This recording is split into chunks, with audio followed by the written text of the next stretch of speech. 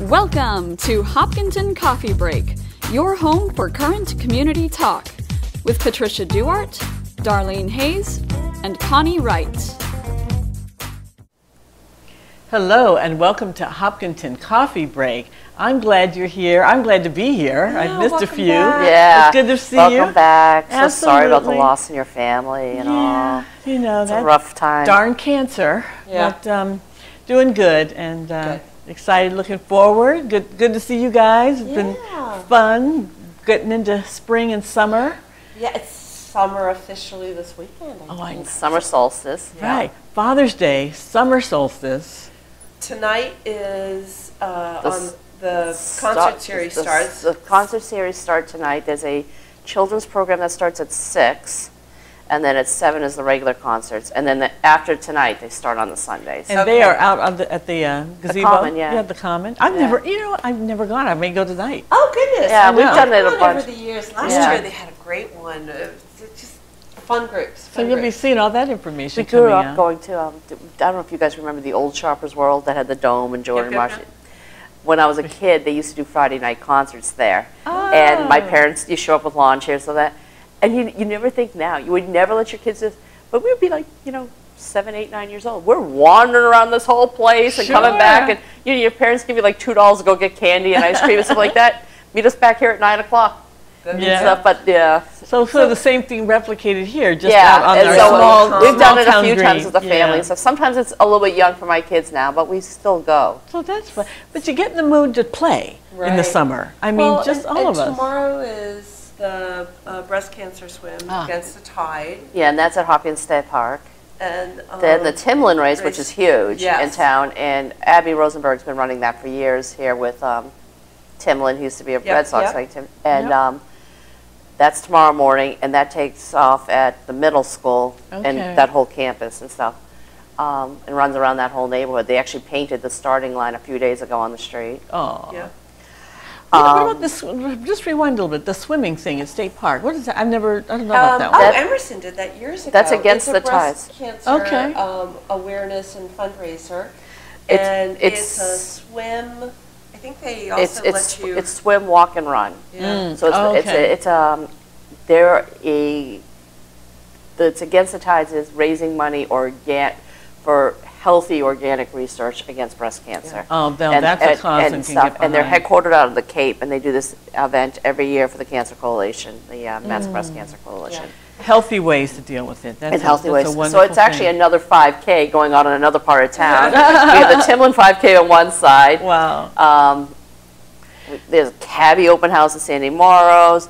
There's a big town, um, at Town Hall, there's a selectmen's meeting that's getting a lot of attention next week Oh yes. The, and uh, stuff like that. CVS Um, issue. Hot Acoustics is playing at Fireflies Oh, tomorrow yeah. night. Absolutely. Steve Spector, local. Yeah. uh, Absolutely. Hopkintonian. Right, and we should Um, mention Swoon is having their s- uh, celebration, and they're going to have they're going to be getting rid of all the summer things over the next Cool. few weeks. So they, there's some things coming. They're getting out. rid of summer things just as the start of summer. Well, because there's- they've it's already the bought new for fall. season. That's the way Yeah. the fashion works. Exactly. You I always hated it. I would go like in August to buy a bathing suit because I was head on vacation, and you can't find them. Right. So, well, it so benefits. now I've learned. yeah, but it benefits us. It's early in the season, and the Mm-hmm. deals are going to come out. So I'm excited because I've become a regular. Sort It looks like we're getting a couple steps closer to, you know, the library happening. Last night was um, Yeah. the historic um, meet districts committee, and they gave the blessing for the new library. Yay. I shared Oh. with you guys some of the drawings and stuff like that, and then stuff. And they've taken a lot of time to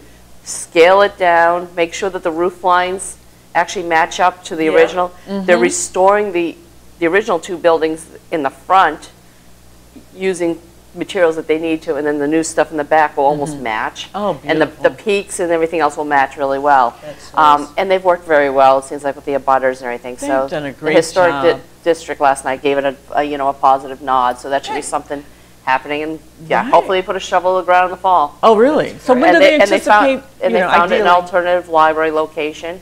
Um, so so that will move to, the library, once Okay. they have to shut down everything and move everything, it'll move to South Street. It, I believe it's gonna be like two thirty-nine South Street. Um, they'll have two locations at this one site. Mm-hmm. And, um, Suffolk Law School donated seventy-five shelving units that um, really, really nice ones that will Mm-hmm. go over to the temporary thing for all, all everything. Um, so it's a Big it's a big process to Well, move this whole and then facility. Wednesday is the pink drink night, Yeah, I'm going- Fundraiser for are you it. guys all Yeah. going to that? Yeah, we're looking going. forward to that. which is a segue into then the following night, Thursday, Yes, Yes. is the the 20. It's one of our the June 25th. It's hosted by the Real Hopkinton Housewives Facebook page, and just an ex- uh, you know something really different. We've had some successful events just sort of naturally, but um, but this is you know designed to help us have some fun. Well, it's a fundraiser for the Y. Mm-hmm. And so all the money goes to the Y for camp scholarships, which is huge, Mm-hmm. really, really huge. So even if you can't come, register because your money goes to the Y. But come. And Yeah. it's not and it's not an expensive event. It's twenty dollars. Right, Yeah. right, right. You know, right. it's, it's a twenty dollar donation to the Y, and you're going to get a fun, you know, Fun- experience. Yeah, it's, it's early evening, so Yes. you know, it's, you know, four four o'clock to about seven. Then we're going to all go out to have some, Five. Five o'clock. Starts at five. Yes. Starts at Okay. five. Ah, okay. I have the- Come early. No. Get some party. Uh, yeah, You five o'clock. for. Yeah, if- Actually, I actually, we have check-in at 4:45 to Oh, that's 7 o'clock. okay. Check-in is at 4:45. We'll run till 7 o'clock, and then anyone who wants to join us later, we're going to have space reserved on the deck at TJ's Right. and get burgers and beers. But I mean, the whole theme of it, and I think the two of you guys Right. have done some definitely speaking on this issue is about being brave. Being so brave. right, right. you had a quote too about yeah, being brave. Well, y- exactly. I think we're all, you know, as we deal with whatever we're dealing with, and you know, good, bad, you know, um, needing to sort of buck up and gear up to do what we have to do sometimes. I don't know about you, but I've always sort of given. Sometimes I think everybody does this. Gives yourself a pep talk if there's something you're about to do that's a little bit challenging, or maybe you're uh, not certain of, and you you know you just have to sort of buck up to do it.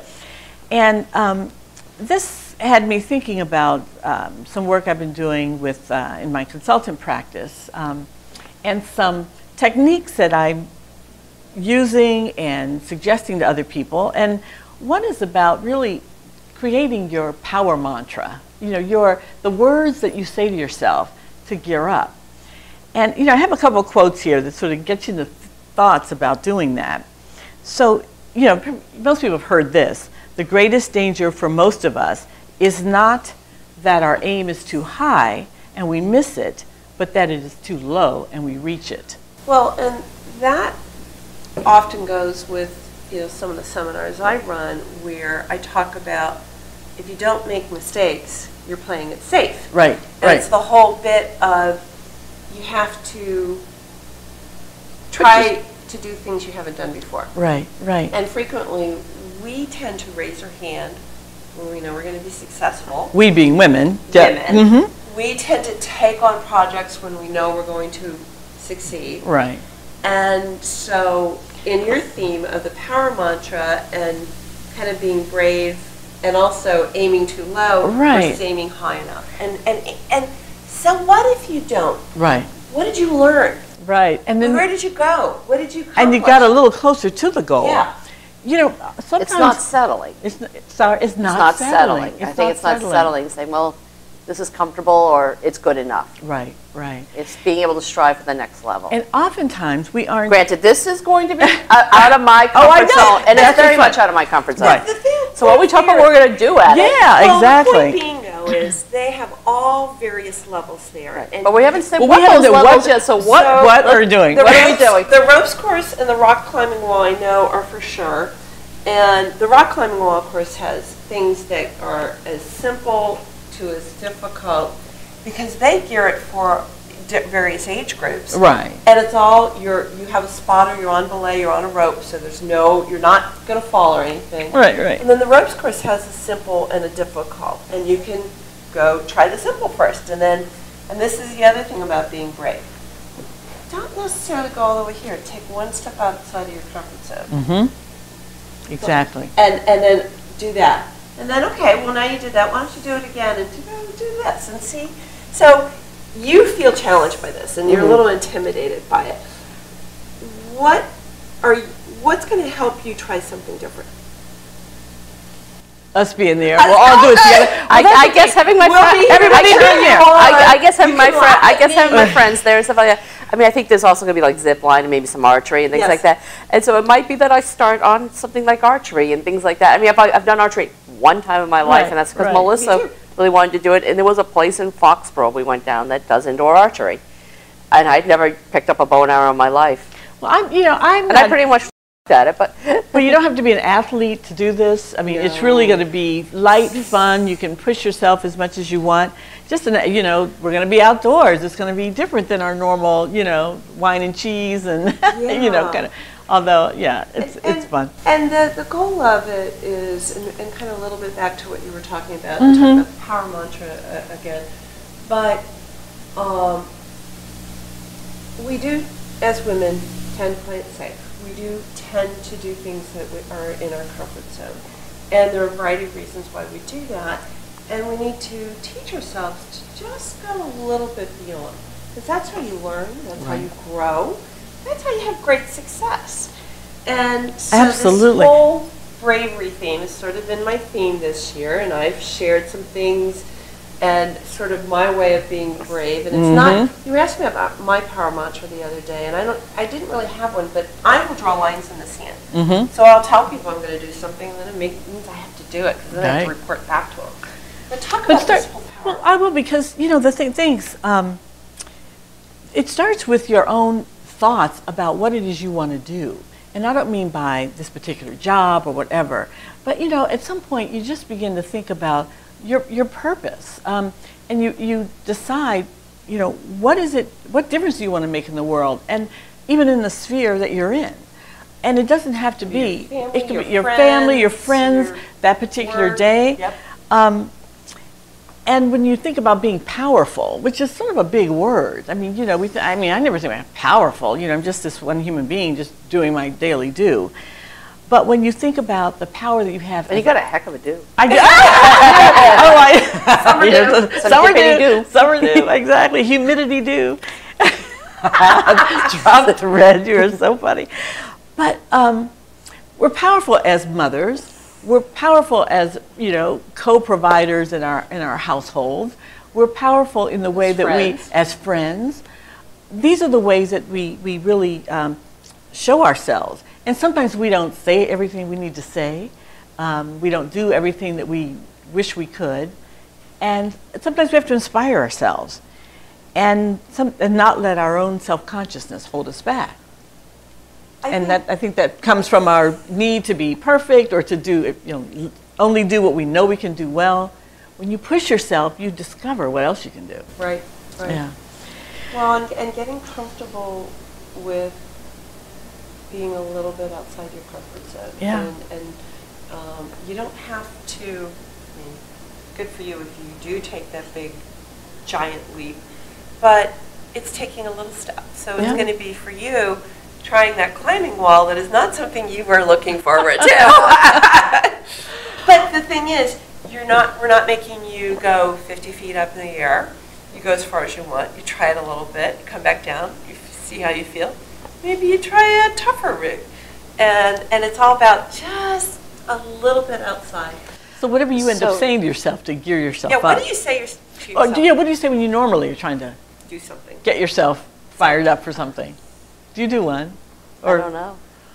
See, It's we- like that. yeah. Well, I, I, I- I actually wanted to get back to the event for a second. Oh. I was like, I want people to know how to register and how to sign up. Oh, so yes, if you're indeed. not on the Real Housewives page, I'm actually going to get it over to HCAM and we'll get it posted up on the HCAM site. And we'll also be able to share this probably on um, our own Facebook pages. So Yeah. um, check it all out. There is an Eventbrite link to sign up for. Um, it's only $20. You come out for a couple hours and have some fun. And I think that's how I'm going to get through it. Is knowing Yes, I have yes. friends with me. I'm going to push through it. And you know what? I'm, and I'm doing something good for an organization in my community. Yeah. That's right, Well, and- exactly. And, and I think that's one of it is um, when you think about sometimes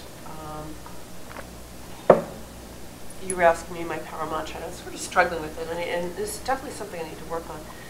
I do um, certainly draw from the support of friends. And like I said, sometimes I draw that line in the sand and it causes me to cross over. But there have been times where I I talk to myself, I talk to myself in the car, shocker, Yes. well, shocker. Like And the I'll rest of the things like, world. Put Mhm. your big girl panties on. You can do this. You know, uh, you you know, Yeah. everybody puts their shoes on one at a time, you know. It, it's, it's like I, I, I demystify the thing that I'm scared about and, and tell myself oh, I am um, qualified to do what I'm doing.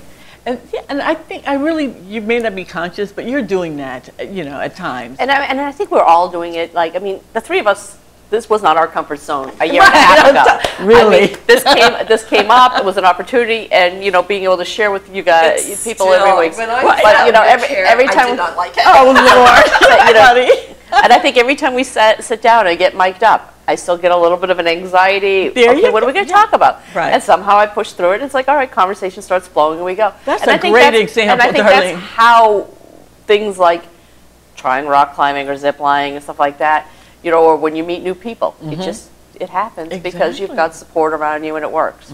Absolutely. So, you know, just um, in terms of how to create a power mantra, it's really an affirmation statement. And I'm just a couple of, you know, brief instructions. So you want to keep it short, so seven or eight words ideally. Okay. So you want to cut out any unnecessary words, so like disclaimers or uh, explanations when you're coming up with your mantra, because it's really just a minimum Is statement. Is it like an I am statement? Yes, my next thing, language of 100% responsibility. So you say, I am, or I choose, or I will, the types of things. Um, like that. Phrase it in the positive. So it's always, you know, what you're going to be doing in, a, in the affirmative. And it can be aspirational. And you're supposed to get that funny feeling in your stomach because I'm, you know, so if you say something like, I am powerful or I am courageous, you know, it, it creates a little feeling if you say that about, you know, as you the do. Katy Perry song. Oh, is oh, or- get that song in your head. But you know, it sounds it may sound hokey as I'm describing this, but you pra- if you practice it, you will start building something. You will feel it, and um, this group comes in your inner knowing. you Inner will in your inner knowing. It'll start building um, a different kind of confidence. So I encourage everyone to have a power mantra. A power mantra. Power mantra, something that makes you feel powerful. You don't even have to tell anybody what it is. Interesting. I like that. Like So I'll be using it when I'm thinking about rope climbing, because the picture, I mean, you know, you can be hanging high and, you know, I mean, this is, because people don't know necessarily what rope climbing is, right? Well, well, so rock I mean, climbing, or rope- you're on the rope, other. but you're using the wall. Then Right. there's the ropes course, which are ropes that you climb and and it's a various um, with bridges and there's It's like a rope jungle gym. Yeah. Oh, it's like a okay. rope jungle gym. right. Yeah, okay. And and you you know one's like a cargo net that you climb up. Okay. And, and so it's different things, but different ones have different levels of difficulty, and you. So you're going to wear rugged stuff like sneakers and Yeah, you you're should- going to make it a little dirty, Yeah, but do maybe? not do not wear heels. okay. or white pants. But, but again, if you are someone who says, well, I'm not, you know, I'm not physically fit, or, you know, I'm not, um, uh, Yeah, great you know, shape or an something. outdoorsman person, don't let that, I mean, just come and explore, and there is no criteria. Just showing up Right. be you getting outside of your comfort zone. To meet new friends. exactly. New New friends. friends. Right. Come support the Y, make new friends, and if you want, try these And things. if If you you don't, don't want- hang out Hang out. It'll and be a cry blast. with me in the corner. well, and, and, and I'll be there cheerleading, and, and I, I. You're going to climb and Well, do. Oh, I've done a bunch of this stuff. I- Okay. I, you know, tr- I took a rock climbing class in Yosemite. I've Oh. done, I've never done El Capitan or stuff like that, but I've done some difficult rock Oh. climbing, and, and, and this is a rock climbing walk, so it's all set up for you. Yeah. This, you know, whereas I've done the, the I'm looking for the toddler one. It might have like little bear paws you can grab onto or something like that. Now, did you see what was really cool? I don't know if you know, is um, Geri Holland got, um, totally off subject here now, um, at the town hall, she got an old um, election ballot machine. Yes. And she took it to Elmwood School, and they hosted a real election yesterday, and the kids voted on what the new dog tag shape would be and what the ta- what the bench would Yes. be at the school. And they went through and they had to fill in the ballots right, and they counted them. And so the new dog tags will be the shape of a dog biscuit, and the new bench going in at Elmwood will have um, they had a choice of a gorilla, a couple Yeah, other things. The gorilla won. Right. A regular bench, a gorilla, and like two other things. But how powerful that those those kids And at they Elmwood School, just you know, they their vote mattered. Yeah, and, they made brought in decision. and they brought in the um, you know the people you check in for, for the election, all the, like the punkies and all all those people were there. So they actually had to go up and say like what class they were in. They look up their name check. They got Oh, their ballot, got- and I think that's a really neat way to get them to under and then to understand how important your vote matters. You are, that's so funny you mentioned that. I'm so glad you did because that's such an ingenious thing that Geri did. And I just learned about that too yesterday. And I got to give a shout out to our lovely town. I lost my debit card apparently in the middle of the street running errands on our little walk yesterday. Don't you know, someone turned it in to Town Center. Geri's office called, so I went there to pick it up. And, you know, I didn't even know I was missing it. So, and I went in there and she was all excited about what she had just done. And so it- I was like, oh, does everybody know about that? She's so passionate about civic process and responsibility, and it's just a really inspiring thing. Well, and, and getting the kids engaged at that level is so key because, and, and this comes back to um, how we as individuals um, create values. And at that age, they are wide open, whereas Exactly. when we hit our age, we start to have voices that tell us what we can't do, what we can do, or we'd like to do it, but you don't like it, and I'm afraid to do it because you have a value and I might offend your value, um, or my, what my parents think I should do, or what my children think.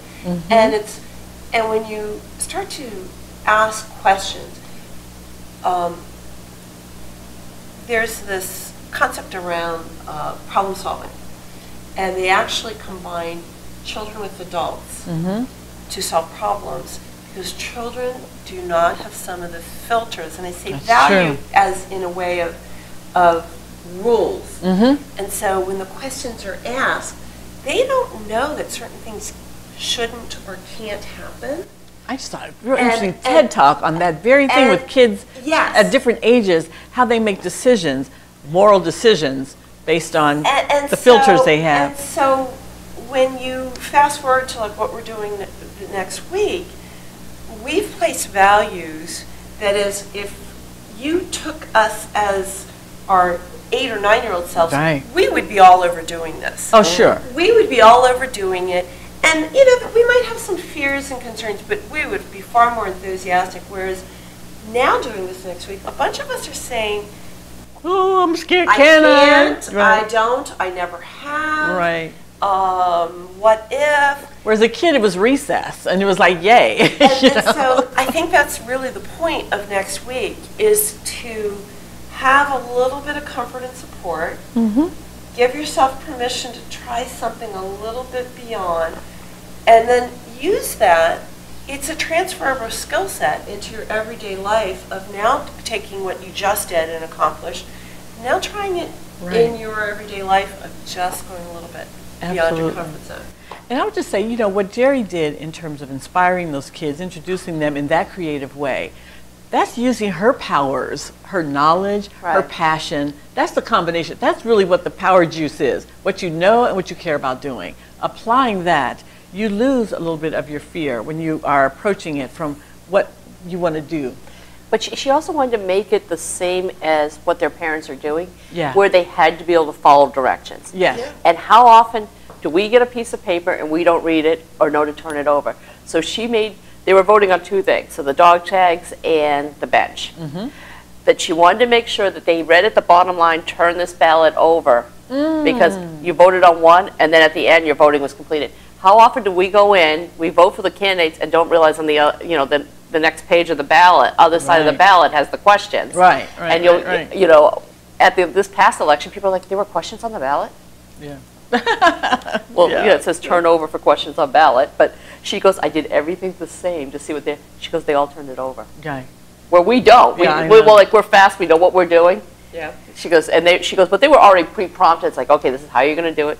So yeah, I pulled up the thing. It was a buddy bench, a gorilla bench, an elephant, or a bug bench. The gorilla won, and then for the dog tag, they had a choice of a dog bone, a dog house, or a uh, like a round circle. So this And bench will be at the school, I It'll guess. be at and the the dog tanks will be what people Fun. get. Yeah, and I mean, it's a neat thing, and they got to pick what is going to be in their courtyard and what the, but for the dog tag, that's a townwide That's a decision. townwide thing. Yeah, they just picked it. Yeah, that is love it. awesome. That is. aw- So what else is happening? This was Father's Day this weekend, and uh, a lot of shout out to all the wonderful dads. Yeah, happy Father's Day. Happy. Father's Day, whether you're a dad or you've got Happy a Father's dad. Day, Sal. yeah. What's that? I said, Happy Father's Day, Sal. Oh, oh yeah.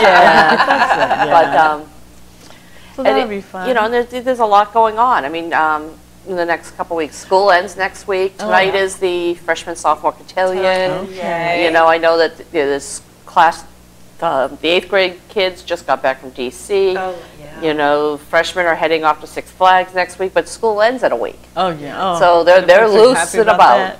Um, Sandy Beach officially opens next weekend, so I mean, State I'll- Park is officially open. Oh, we saw the state park officially open Oh, last week. It was a big line line to get I in hear. there. I want to do a boating outing one of these days. We should get kayaks. That's fun. I love doing that over there. Well, I have You kayaks. you've got- I, I, I live with kayaks Oh, and yeah. stuff like that. I'll have But to come over to your house. I know, but kayak. I want to. I want to row the boat, so they say. Yeah. And you know, the the, uh, the the art center is coming along beautifully. We walked by it yesterday. It is the, an exquisite structure. we're going to have to do an event there. yeah, exactly. That's got to be a future event. right in maybe fall or winter.